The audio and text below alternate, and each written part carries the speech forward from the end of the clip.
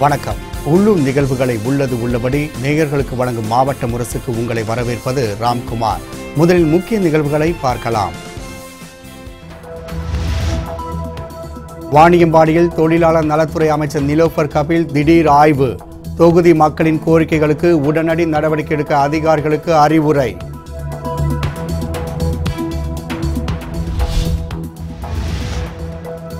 வீரபாண்டியன் பட்டணம் பகுதியில் மீனவர்கள் உண்ணாவிரதம் தூண்டில் வளைவு பாலத்திட்டத்திற்கு கூடுதல் நிதி ஒதுக்க வலியுறுத்தல்.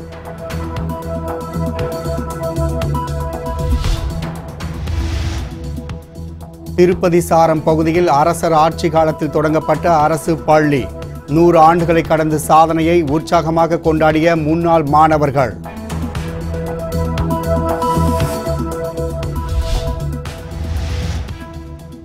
சேலத்தில் பஞ்சகருட சேவை திருவிழா கோலாகலம். ஒரே இடத்தில் எழுந்தள்ளிய ஐந்து உற்சவர்களை தரிசனம் செய்து பக்தர்கள் பரவசம்.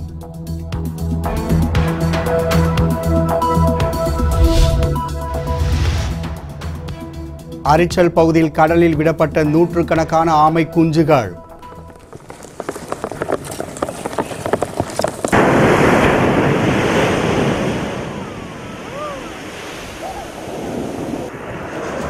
கடலை நோக்கி ஆர்வமுடன் செல்லும் ஆமைகளைக் கண்டு பொதுமக்கள் உற்சாகம்.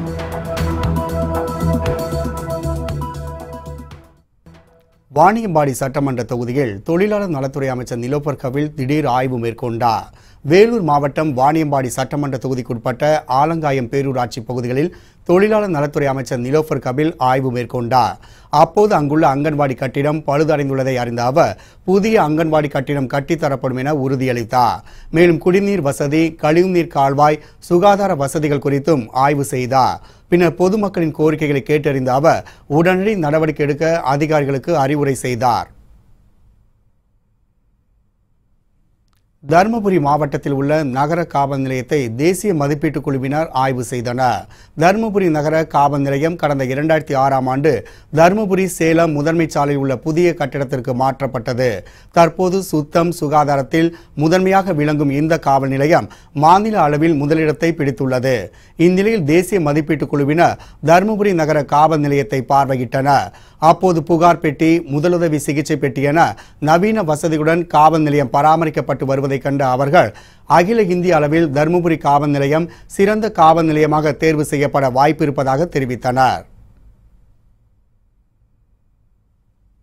குடிமங்கலம் அருகே கோயில் காணிக்கையாக பெறப்பட்ட கால்நடைகளை அமைச்சர் உடுமலை ராதாகிருஷ்ணன் பயனாளிகளுக்கு வழங்கினார்.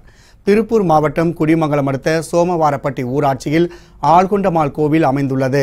இந்த கோயிலில் திருவிழாவின் போது காணிக்கையாக பெறப்பட்ட கால்நடைகளை பயனாளிகளுக்கு விலையில்லா பராமரிப்புக்காக வழங்கும் விழா நடைபெற்றது. இந்த விழாவில் கால்நடை பராமரிப்புத்துறை அமைச்சர் உடுமலை ராதாகிருஷ்ணன் கலந்து கொண்டு பயனாளிகளுக்கு கால்நடைகளை வழங்கினார். இந்நிகழ்வின் போது வருவாய் கோட்டாட்சியர் அசோகன் இந்து சமய அறநிலைத்துறை உதவி ஆணையர் ஹர்சினி உட்பட அரசு அதிகாரிகள் பலர் உடனிருந்தனர். சோமவாரப்பட்டி ஆள்கொண்டம்மன் திருக்கோவிலில் நம்முடைய விவசாய பெருங்குடி மக்கள் திருவிழாவின் போது திருக்கோயிலுக்காக நாற்பத்தி ஒரு எண்ணிக்கை காளை மாடுகள் காளை மற்றும் கால்நடை பசுமாடு கிராய் பெற்று போன்றவற்றை எல்லாம் தானமாக இங்கே வழங்கினார்கள். இது ஒவ்வொரு வருடமும் இந்த தானமாக வருகின்ற பசுக்களை எல்லாம் மாற்றுத்திறனாளிகள் அதே போல ஆதரவற்றோர் போன்றவர்களுக்கு அவர்கள் பொருளாதார பொருளாதார ரீதியில் மேம்பட வேண்டும் என்பதற்காக இன்றைக்கு இந்த பகுதியில் இருக்கின்ற நாற்பத்தி ஒரு நபர்களுக்கு இந்த பசுக்களை எல்லாம் நாங்கள் கொடுத்துருக்கின்றோம் வேலூரில் நடைபெற்ற ரோட்டரி சங்கங்களின் முதல் மாநாட்டில் தொழிலாளர் நலத்துறை அமைச்சர் நிலோஃபர் கபில் கலந்து கொண்டார். வேலூர் மாவட்டம் அம்பலால் கிரீன் பீல்ட் பகுதியில் ரோட்டரி சங்கங்களின் முதல் மாவட்ட மாநாடு நடைபெற்றது. இந்த மாநாட்டில் தொழிலாளர் நலத்துறை அமைச்சர் நிலோஃபர் கபில் கலந்து கொண்டு சிறப்புரை செய்தார். பின்னர் நிகழ்ச்சியில் பேசிய அவர் போலியோ ஒழிப்பில் ரோட்டரி சங்கங்கள் அதிக பங்களிப்புடன் செயல்பட்டு வருவது பாராட்டுக்குரியது என்று கூறினார். தொடர்ந்து மூன்று நாட்கள் நடைபெறும் இந்த மாநாட்டில் ஏராளமானோர் பங்கேற்க உள்ளனர். வீரபாண்டியன் பட்டணம் பகுதியில் உள்ள தூண்டில் வளைவு பால திட்டத்திற்கு கூடுதல் நிதி ஒதுக்க வலியுறுத்தி மீனவர்கள் உண்ணாவிரத போராட்டத்தில் ஈடுபட்டனர். திருச்செந்தூர் அருகே உள்ள வீரபாண்டியன் பட்டணம் பகுதியில் கடல் அரிப்பை தடுக்கும் வகையில் தூண்டில் வளைவு பாலம் அமைக்கப்படும் என கடந்த இரண்டாயிரத்தி இரண்டாம் ஆண்டு தமிழக பட்ஜெட்டில் அறிவிக்கப்பட்டது. இந்நிலையில் பத்து கோடியே பதினாறு லட்சம் ரூபாய் மதிப்பில் அப்பாலம் அமைக்கப்பட்டது. ஆனால் இந்த பாலம் பெயர் அளவிலேயே அமைக்கப்பட்டுள்ளதாகவும் அப்பகுதியில் மீண்டும் கடல் அரிப்பு ஏற்படுவதாகவும் அப்பகுதி மக்கள் குற்றம் சாட்டுகின்றனர். எனவே கடல் எல்லைப் பகுதி பாதிக்காத வகையில் பாலத்தை முறைப்படுத்த வேண்டும் என கோரிக்கை விடுக்கும் மீனவர்கள் அதனை வலியுறுத்தி துறைமுக கமிட்டி சார்பில் உண்ணாவிரத போராட்டத்தில் ஈடுபட்டனர். இந்த குடியிருப்பு பகுதி முழுவதும் தண்ணீரில் மூழக்கூடிய ஒரு அபாயகரமான கட்டத்தில் இருக்கின்றோம். ஆகையால் தமிழக அரசு பொதுப்பணித்துறை மூலமாக அந்த ஒன்பது கோடி ரூபாயை உடனடியாக விளங்கி வழங்கி இந்த திட்டத்தை உடனடியாக நிறைவு பெற செய்ய வேண்டும். அதுபோல் கடல் அரிப்பை தடுப்பதற்கு பொதுப்பணித்துறையினர் போர்க்கால அடிப்படையில் போர்க்கால அடிப்படையில் இந்த கடல் அரிப்பை இந்த கடல் நீரை கட்டுப்படுத்துவதற்கான பணியினை உடனடியாக துவங்க வேண்டும் என்பதற்காக இன்றைய தினம் நாங்கள் தொழிலுக்கு செல்லாமல் வேலை நிறுத்தத்தில் ஈடுபட்டு பெரியதொரு உண்ணாநிலை அறை போராட்டத்தை நடத்தி கொண்டிருக்கின்றோம். காஞ்சிபுரம் அரசு மேல்நிலைப் பள்ளியில் அமைக்கப்பட்ட குடிநீர் தொட்டியை அத்தொகுதி சட்டமன்ற உறுப்பினர் எழிலரசன் திறந்து வைத்தார். காஞ்சிபுரம் அடுத்துள்ள தாமல் கிராமத்தில் அரசு மேல்நிலைப் பள்ளி செயல்பட்டு வருகின்றது. இப்பள்ளியில் சுத்திகரிக்கப்பட்ட குடிநீர் தொட்டி அமைக்கப்பட்டுள்ளது. இதன் திறப்பு விழா நிகழ்ச்சியில் காஞ்சிபுரம் சட்டமன்ற உறுப்பினர் எழிலரசன் கலந்து கொண்டு குடிநீர் தொட்டியை திறந்து வைத்தார். மேலும் பள்ளி பயன்பாட்டிற்காக மேஜை நாற்காலிகளையும் அவர் வழங்கினார். காரனுடை ஊராட்சியில் நடைபெற்ற சமூக தணிக்கை ஆய்வுக் கூட்டத்தில் சுமார் இருநூறுக்கும் மேற்பட்ட கிராம மக்கள் ஆர்வமுடன் பங்கேற்றனர். திருவள்ளூர் மாவட்டம் காரனுடை ஊராட்சியில் சமூக தணிக்கைக்கான சிறப்பு கிராம சபை கூட்டம் நடைபெற்றது. மகாத்மா காந்தி தேசிய ஊரக வேலை திட்டத்தின் கீழ் நடைபெற்ற வளர்ச்சி பணிகள் குறித்து தணிக்கை செய்யப்பட்டதைத் தொடர்ந்து பொதுமக்கள் விவாதத்திற்காக நடைபெற்ற இந்த கூட்டத்தில் துணை வட்டார வளர்ச்சி அலுவலர் ஏகாம்பரம் வட்டார வள அலுவலர் உமா மகேஸ்வரி உட்பட திரளான கிராம மக்களும் கலந்து கொண்டனர். திருப்பதி சாரம் பகுதியில் திருவிதாங்கூர் அரசர் ஆட்சி காலத்தில் தொடங்கப்பட்ட அரசு பள்ளி நூறு ஆண்டுகளை கடந்து சாதனை படைத்துள்ளது. கன்னியாகுமரி மாவட்டம் திருப்பதி சாரம் பகுதியில் ஆயிரத்து தொள்ளாயிரத்து பதினேழாம் ஆண்டில் அரசு பள்ளி தொடங்க ஆரம்பிக்கப்பட்டது தற்போது இந்த பள்ளியானது நூறு ஆண்டுகளை கடந்து சாதனை புரிந்துள்ளது. இதனை கொண்டாடும் விதமாக இப்பள்ளியில் பயின்ற முன்னாள் மாணவர்கள் தற்போதைய மாணவர்களுடன் அமர்ந்து பாடம் பயின்று மகிழ்ந்தனர். மேலும் பள்ளியின் முன்னேற்றத்திற்காக பல வசதிகளை மேற்கொள்ள உள்ள நிலையில் தங்களின் முயற்சிக்கு தமிழக கல்வித்துறையும் ஒத்துழைப்பு தர வேண்டும் என முன்னாள் மாணவர்கள் கோரிக்கை விடுத்துள்ளனர். ஸ்ரீமுஷ்ணம் தாலுகா கூடலையாற்றூர் ஊராட்சியில் கிராம சபை கூட்டம் நடைபெற்றது. கடலூர் மாவட்டம் ஸ்ரீமுஷ்ணம் தாலுகாவில் நடைபெற்ற கூட்டத்திற்கு சமூக தணிக்கையாளர் பிரேமா தலைமை தாங்கினார். பின்னர் மகாத்மா காந்தி தேசிய ஊரக வளர்ச்சி திட்டத்தில் பல்வேறு ஊழல்கள் நடைபெற்று வருவதாக அவர் அறிவித்தார். மேலும் வீடு கட்டும் திட்டத்திற்காக முன்னாள் ஊராட்சி எழுத்தர் பயனாளிகளிடம் பணம் வசூல் செய்தது குறித்தும் கூட்டத்தில் புகார் தெரிவிக்கப்பட்டது. மொத்தம் எட்டு லட்சம் ரூபாய் மதிப்பிலான முறைகேடுகள் நடந்திருப்பதாகவும் இதற்கான நடவடிக்கைகள் மேற்கொள்ளப்படும் என்றும் சமூக தணிக்கையாளர் தெரிவித்தார். பெண்களின் விடுதலைக்காகவும் முன்னேற்றத்திற்காகவும் உழைத்த அயல்நாட்டு பெண்மணி நிவேதிதாவின் ரத யாத்திரையை விழுப்புரம் மாவட்ட ஆட்சியர் துவக்கி வைத்தார். அயர்லாந்தில் பிறந்து சுவாமி விவேகானந்தரால் நிவேதிதா என அழைக்கப்பட்ட அவர் இந்தியாவில் உள்ள பெண் குழந்தைகளின் கல்வி வளர்ச்சிக்கு அரும்பாடுபட்டார் இந்நிலையில் அவரது குறிக்கோள்களை எடுத்துரைக்கும் வகையில் நூற்று ஐம்பதாவது ரத யாத்திரை மேற்கொள்ளப்பட்டு வருகின்றது. கடந்த மாதம் கோவில் தொடங்கிய யாத்திரை தமிழகத்தின் இருபத்தி ஏழு மாவட்டங்களில் பயணம் செய்து தற்போது விழுப்புரம் மாவட்டத்தை வந்தடைந்தது. இதன் துவக்க விழாவில் மாணவர்கள் பங்கேற்ற கலை நிகழ்ச்சிகள் நடைபெற்றன. அதைத் தொடர்ந்து மாவட்ட ஆட்சியர் சுப்பிரமணியன் சகோதரி நிவேதிதாவின் சேவைகள் குறித்து உரையாற்றினார்.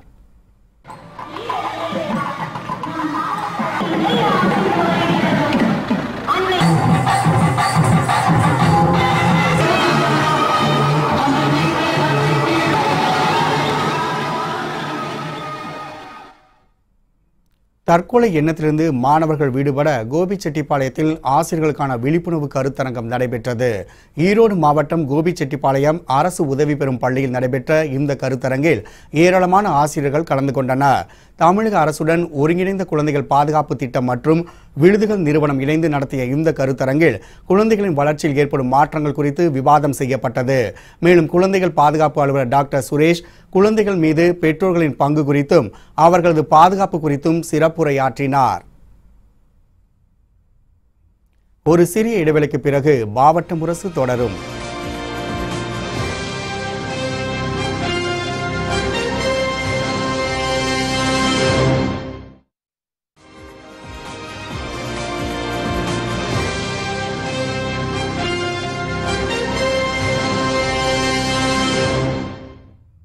மீண்டும் மாவட்ட முரசுக்கு உங்களை வரவேற்கிறோம் சின்ன திருப்பதி வெங்கடேச பெருமாள் அக்ரஹாரம் லட்சுமி நாராயணசாமி மற்றும் பொன்னம்மாப்பேட்டை பாவ நாராயணசாமி ஆகிய உற்சவர்கள் ஒரு சேர சேலம் கோட்டை மைதானத்தில் எழுந்தருளின இதைத் தொடர்ந்து பஞ்சகருட சேவை திருவிழா வெகு விமர்சையாக நடைபெற்றது இந்த விழாவில் பங்கேற்ற திரளான பக்தர்கள் பஞ்ச உற்சவர்களை தரிசனம் செய்து வழிபட்டனர்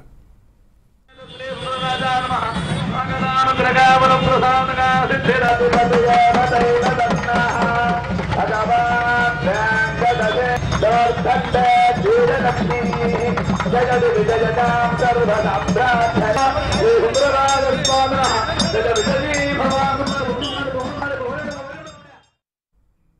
திருப்பத்தூரில் தீபாஞ்சி அம்மன் கோவில் தீமிதி திருவிழாவில் திரளான பக்தர்கள் தீக்குழு இறங்கி நேர்த்திக்கடனை செலுத்தினர். வேலூர் மாவட்டம் திருப்பத்தூர் அடுத்த காந்திப்பேட்டையில் தீபாஞ்சி அம்மன் கோவில் அமைந்துள்ளது. இந்த ஆலயத்தில் தீமிதி திருவிழா வெகு விமர்சையாக நடைபெற்றது.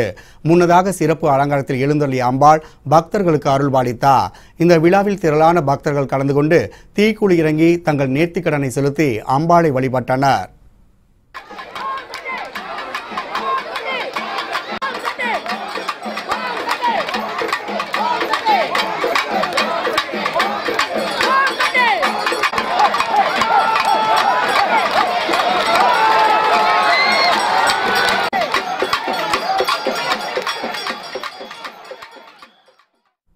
மகா சிவராத்திரி உற்சவ விழாவை முன்னிட்டு சிவகங்கை திரௌபதி அம்மன் கோவில் நடைபெற்ற காப்பு கட்டு விழாவில் திரளான பக்தர்கள் கலந்து கொண்டனர். சிவகங்கை மாவட்டம் சிவகங்கை நகர் மையப்பகுதியில் திரௌபதி அம்மன் ஆலயம் அமைந்துள்ளது. மகா சிவராத்திரியை முன்னிட்டு இந்த ஆலயத்தில் அம்மனுக்கு காப்பு கட்டும் வைபவம் வெகு விமர்சையாக நடைபெற்றது. முன்னதாக கொடிமரத்திற்கு சிறப்பு பூஜைகள் செய்யப்பட்டு காப்பு கட்டப்பட்டது. பின்னர் சிறப்பு அலங்காரத்தில் எழுந்தள்ளி அம்பாளுக்கு மகா தீப ஆராதனைகள் காண்பிக்கப்பட்டன. இதில் திரளான பக்தர்கள் கலந்து கொண்டு தரிசனம் செய்து வழிபட்டனர்.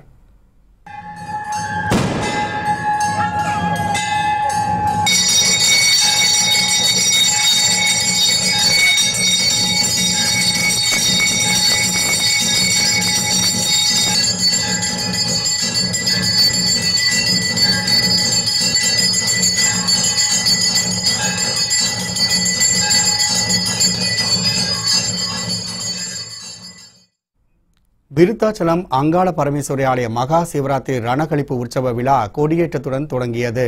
கடலூர் மாவட்டம் விருத்தாச்சலத்தில் எழுந்தள்ளியுள்ள அங்காள பரமேஸ்வரி அம்மன் கோவிலின் கொடியேற்ற நிகழ்ச்சியை முன்னிட்டு சிறப்பு அபிஷேக ஆராதனைகள் நடைபெற்றன. பின்னர் ஏராளமான பக்தர்கள் புடைசூழ மேளதாளங்கள் முழங்க காப்பு கட்டி கொடியேற்றம் நடைபெற்றது.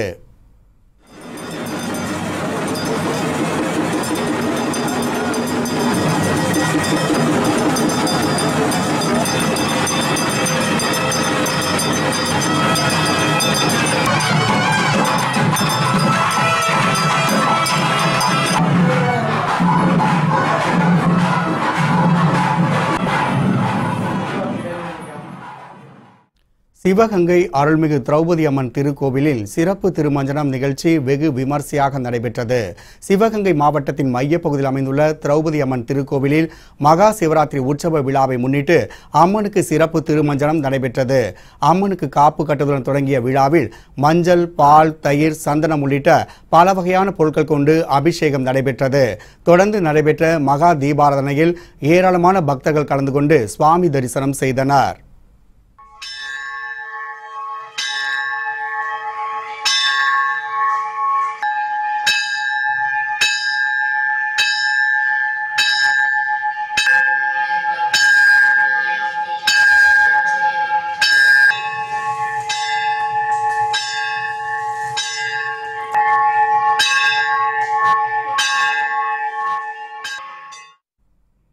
ஆத்தூர் சிறுவாச்சூர் மதுரகாளியம்மன் கோவிலில் தை வெள்ளியை முன்னிட்டு அன்னதானம் வழங்கப்பட்டது. சேலம் மாவட்டம் ஆத்தூர் நகராட்சி பஸ் பேருந்து நிலையம் அருகே மதுரகாளியம்மன் கோயில் அமைந்துள்ளது. கோவிலில் ஒவ்வொரு மாதமும் அமாவாசை அன்று அன்னதானம் வழங்கப்படும். இந்நிலையில் தை கடைசி வெள்ளிக்கிழமையை முன்னிட்டு அம்மனுக்கு சிறப்பு பூஜைகள் நடைபெற்றது. மேலும் பக்தர்களுக்கு அன்னதானமும் வழங்கப்பட்டது. தேவக்கோட்டை அருகே கிராமத்தை தூய்மைப்படுத்தும் பணியில் மாணவர்கள் ஆர்வமுடன் கலந்து கொண்டனர். சிவகங்கை மாவட்டம் தேவக்கோட்டை அருகே திருவேகம்பத்தூர் கிராமத்தை தூய்மைப்படுத்தும் பணி நடைபெற்றது. தூய்மை இந்தியா இயக்கம் சார்பாக நடைபெற்ற இந்த நிகழ்ச்சியில் தென்மண்டல தொல்லியல் கண்காணிப்பாளர் கண்ணன் பாபு தலைமை தாங்கினார். இதில் சுமார் முன்னூறுக்கும் மேற்பட்ட மாணவர்கள் கலந்து கொண்டு கிராம கோயிலை தூய்மைப்படுத்தினர். விருத்தாச்சலம் விருத்தகிரீஸ்வரர் ஆலய மாசி மகா திருவிழாவை முன்னிட்டு மணிமுத்தாற்றை தூய்மைப்படுத்தும் பணி நடைபெற்றது. கடலூர் மாவட்டம் விருத்தாச்சலத்தில் எழுந்தருளியுள்ள விருத்தகிரீஸ்வரர் உடனுரை விருதாம்பாள் ஆலயத்தின் மாசிமக திருவிழா மிக பிரசித்தி பெற்றதாகும். இதனையொட்டி அங்கு வரும் பக்தர்கள் மணிமுத்தாற்றில் தங்கள் முன்னோர்களுக்கு நேர்த்திக்கடன் செலுத்துவ எனவே அவர்களின் வசதிக்காக விருத்தாச்சலம் காவல்துறை சார்பில் மாவட்ட உதவி கண்காணிப்பாளர் தீபா சத்யன் தலைமையில் மணிமுத்தாற்றை தூய்மைப்படுத்தும் பணி நடைபெற்றது. இதில் விருத்தாச்சலம் காவல் ஆய்வாளர் உதவி ஆய்வாளர் உள்ளிட்ட ஏராளமானோர் கலந்து கொண்டனர். நாகையில் மகளிர் சுய உதவி குழுக்களின் உற்பத்தி பொருள் விற்பனை கண்காட்சியை மாவட்ட ஆட்சியர் சுரேஷ்குமார் தொடங்கி வைத்தார். அனைத்து மாவட்ட மகளிர் சுய உதவி குழுக்களின் உற்பத்தி பொருட்களின் விற்பனை கண்காட்சி நாகையில் நடைபெற்றது. தமிழ்நாடு மகளிர் திட்டம் சார்பில் நடைபெற்ற இந்த கண்காட்சியை மாவட்ட ஆட்சியர் சுரேஷ்குமார் குத்து விளக்கேற்றி தொடங்கி வைத்தார். தொடர்ந்து பத்து நாட்கள் நடைபெறும் இந்த விற்பனை கண்காட்சியில் சணலால் தயாரிக்கப்பட்ட பைகள் ஊட்டி நில தானியங்கள் தைலங்கள் உட்பட பலவித கலைநயமிகு கைவினைப் பொருட்களும் இடம்பெற்றிருந்தன. மேலும் சுற்றுப்புற சூழலை பாதுகாக்கும் கைவினைப் பொருட்களை அனைவரும் பயன்படுத்த வேண்டும் என மகளிர் சுய உதவிக் குழுவினர் வேண்டுகோள் விடுத்துள்ளனர். தருமபுரியில் நடைபெற்ற தொழில்நெறி வழிகாட்டுதல் கண்காட்சி மற்றும் கருத்தரங்கை மாவட்ட ஆட்சியர் விவேகானந்தன் தொடக்கி வைத்தார். வேலை வாய்ப்பு மற்றும் பயிற்சித்துறை சார்பில் தருமபுரி அரசு கலைக்கல்லூரி வளாகத்தில் தொழில்நெறி வழிகாட்டுதல் கண்காட்சி மற்றும் கருத்தரங்கம் நடைபெற்றது. இந்நிகழ்ச்சியை மாவட்ட ஆட்சியர் விவேகானந்தன் தொடக்கி வைத்தார். இதையொட்டி நடைபெற்ற போட்டிகளில் வெற்றி பெற்ற மாணவர்களுக்கு பரிசுகளை ஆட்சியர் வழங்கினார். இந்நிகழ்ச்சியில் கல்லூரி மாணவ மாணவிகள் திரளாக கலந்து கொண்டனர். மதுபானம் மற்றும் கள்ளச்சாராயம் மருந்துவதால் ஏற்படும் பாதிப்புகள் குறித்து நாகர்கோவிலில் நடைபெற்ற விழிப்புணர்வு பேரணியை மாவட்ட ஆட்சியர் சஜன் சிங் சவான் தொடங்கி வைத்தார். கன்னியாகுமரி மாவட்ட மது விலக்கு மற்றும் ஆயத்தீர்வை சார்பில் நடைபெற்ற இந்த பேரணியில் பள்ளி மாணவ மாணவிகள் திரளாக கலந்து கொண்டனர். மதுபானம் மற்றும் கள்ளச்சாராயம் மருந்துவதினால் ஏற்படும் பாதிப்புகள் குறித்து விழிப்புணர்வு பதாகைகளை ஏந்திய மாணவர்கள் வீதிகளின் வழியாக பேரணியாக சென்று பொதுமக்களிடையே விழிப்புணர்வை ஏற்படுத்தினர்.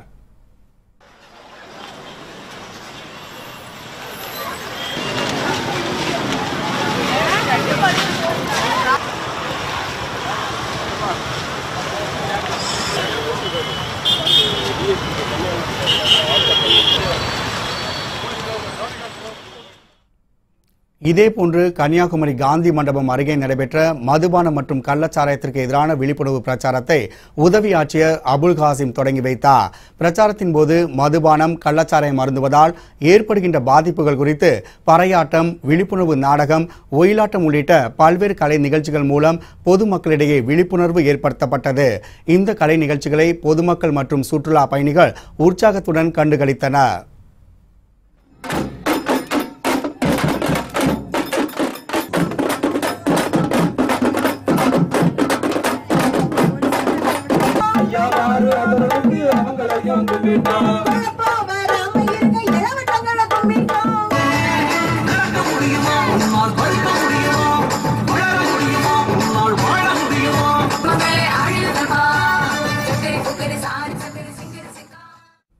பொதுமக்களிடையே மது குறித்து விழிப்புணர்வு ஏற்படுத்த சேலத்தில் விழிப்புணர்வு வாகன சுற்றுப்பயணம் துவங்கியது.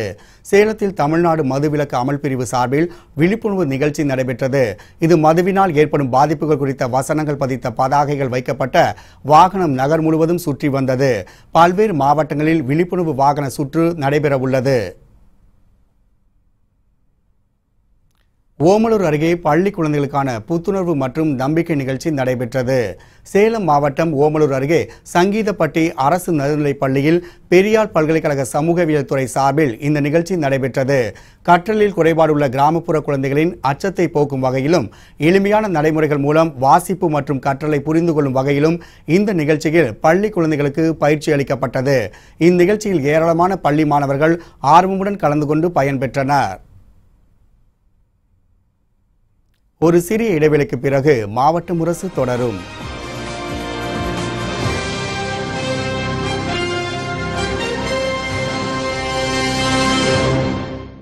வேலூரில் தனியார் பள்ளியில் நடைபெற்ற விளையாட்டு விழாவில் பல்கலைக்கழக துணைத் தலைவர் ஜி வி செல்வம் கலந்து கொண்டு ஒலிம்பிக் தீபத்தை ஏற்றி வைத்தார்.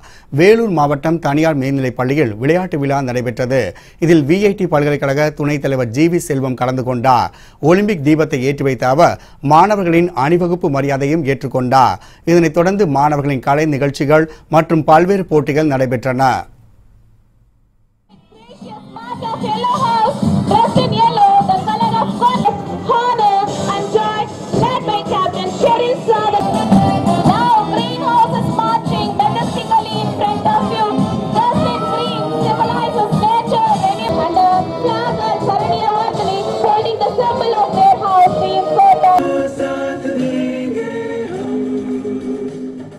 போட்டிகளில் வெற்றி பெற்ற மாணவ மாணவியருக்கு கோப்பை மற்றும் சான்றிதழ்கள் வழங்கப்பட்டன. சேலம் கொண்டலாம்பட்டியில் நடைபெற்ற கர்ப்பிணி பெண்களுக்கான சிறப்பு மருத்துவ முகாமில் ஏராளமான பெண்கள் கலந்து கொண்டனர். சேலம் மாநகராட்சி சார்பில் நடைபெற்ற இந்த சிறப்பு மருத்துவ முகாமை மாநகராட்சி ஆணையாளர் சதீஷ் தொடக்கி வைத்தார். இம்முகாமில் கர்ப்பிணி பெண்கள் பின்பற்ற வேண்டிய வழிமுறைகள் மற்றும் எடுத்துக்கொள்ள வேண்டிய உணவுகள் குறித்து விளக்கம் அளிக்கப்பட்டது. மேலும் கர்ப்பிணி பெண்களுக்கு உயரம் எடை சர்க்கரை அழுத்தம் அல்ட்ரா சவுண்ட் ஸ்கேன் உள்ளிட்ட பல்வேறு மருத்துவ பரிசோதனைகளும் நடைபெற்றன. இதில் ஏராளமான கர்ப்பிணி பெண்கள் கலந்து கொண்டு பயன்பெற்றனர் சேலத்தில் தனியார் பள்ளி நடைபெற்ற குழந்தைகள் தின கொண்டாட்டத்தில் கண்கவர் உடையணிந்த சிறுவர்கள் நடனமாடி அசத்தினர். சேலம் தனியார் பள்ளியில் குழந்தைகள் தின விழா வெகு சிறப்பாக கொண்டாடப்பட்டது. முன்னதாக கல்வி மற்றும் விளையாட்டில் சிறந்து விளங்கிய மாணவர்களுக்கு பதக்கங்கள் மற்றும் சான்றிதழ்கள் வழங்கப்பட்டன. இதைத் தொடர்ந்து சிறுவர் சிறுமிகளின் கண்கவர் கலை நிகழ்ச்சிகள் நடைபெற்றன. இதில் பங்கேற்ற குழந்தைகள் நடனம் மற்றும் பாடல்கள் பாடி தங்களின் தனித்திறமைகளை வெளிப்படுத்தின. இதில் மாணவர்களின் பெற்றோர்கள் உட்பட பலர் கலந்து கொண்டு கலை நிகழ்ச்சிகளை கண்டு ரசித்தனர்.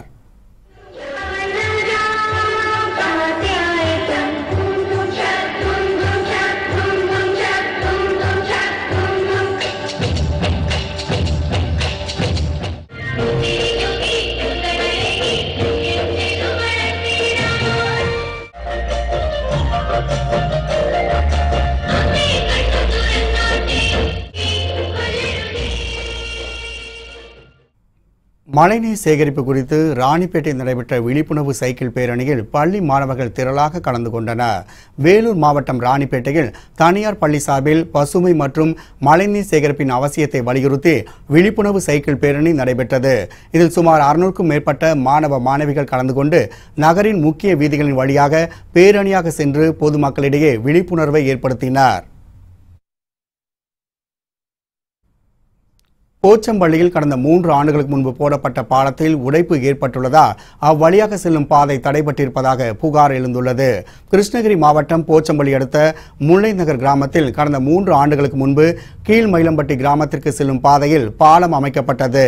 அவ்வழியாக அதிக அளவிலான கனரக வாகனங்கள் செல்வதால் அதில் விரிசல் ஏற்பட்டு தற்போது நாலடி அகலத்திற்கு பாலம் உடைந்து ஓட்டையாக காட்சியளிக்கின்றது. இதன் காரணமாக கீழ் மயிலம்பட்டி கிராமத்திற்கு அவ்வழியை பயன்படுத்தாமல் மாற்றுப்பாதை உபயோகித்து வருகின்றன. எனவே பெரும் விபத்து ஏற்படும் முன்பு பாலத்தை சரி செய்து தர வேண்டுமென நகராட்சி நிர்வாகத்திற்கு பொதுமக்கள் கோரிக்கை விடுத்துள்ளனர். மணப்பாறை அருகே ராணுவ வீரர்கள் பயன்படுத்தும் துப்பாக்கி குண்டு வெடித்து பள்ளி மாணவர்கள் உட்பட மூன்று பேர் படுகாயமடைந்தனர். திருச்சி மாவட்டம் மணப்பாறை அடுத்த வீரமலை பகுதியில் அவ்வப்போது ராணுவ வீரர்களின் துப்பாக்கி சுடும் பயிற்சி நடைபெறுவது வழக்கமாகும். அப்போது அவர்கள் விட்டு செல்லும் குண்டுகளை எடுத்து அப்பகுதி மக்கள் விற்பனை செய்து வருகின்றனர். இந்நிலையில் அணியாப்பூரை சேர்ந்த ராமநாதன் என்பவர் தன்னிடம் இருந்த ராணுவ குண்டை உடைக்க முற்பட்ட போது அது திடீரென வெடித்து சிதறியது. இதில் ராமநாதன் உடல் முழுவதும் குண்டு துகள்கள் துளைத்தன. மேலும் வேடிக்கை பார்த்த நவீன் கோபாலகிருஷ்ணன் என்ற இரண்டு மாணவர்களும் படுகாயமடைந்தனர் பின்னர் மீட்கப்பட்ட மூவரும் மருத்துவமனையில் அனுமதிக்கப்பட்டனர். போலீசார் இந்த சம்பவம் குறித்து விசாரணை மேற்கொண்டு வருகின்றனர். மாவட்ட முரசு இத்துடன் நிறைவடைந்தது. புத்தம் புதிய செய்திகளை உடனுக்குடன் தெரிந்து கொள்ள இணைந்திருங்கள் மாலை முரசு தொலைக்காட்சியுடன். வணக்கம்.